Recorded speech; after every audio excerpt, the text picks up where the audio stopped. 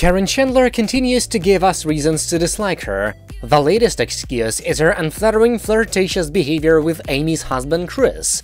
I was skeptical of Caryn Chandler from day one, and now I think she may be showing interest in Chris Marek. Ever since Caryn started appearing on the hit reality show, she has been called many things, and the names have worsened.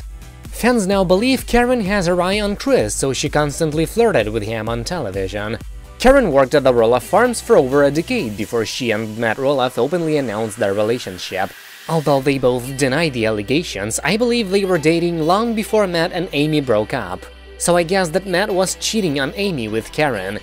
Caryn doesn't have enough of Matt Roloff, so she's flirting with Chris. Caryn is interested in Amy's new man and probably wants to wrestle him away from Amy like she wrestled Matt away.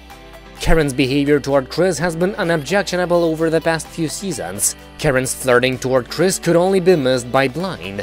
Whenever Caryn finds herself around Chris, she is just creepy. Even though Amy's relationship with Chris is powerful, she should still keep an eye on Caryn Chandler and keep her at a decent distance. Amy and Caryn may get along for the sake of the show and family, but they are anything but friends. In season 17 of The Little People Big World, when Amy was doing a solo interview, she was asked about her opinion of Matt dating Caryn and her idea of Caryn in general.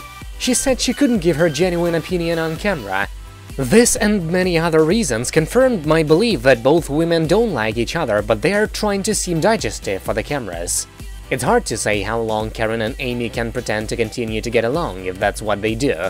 But so far, they have managed to hide their supposed hatred for each other well, and we can only hope that this will continue, mainly for the sake of the show's continuation and for the sake of the other family members.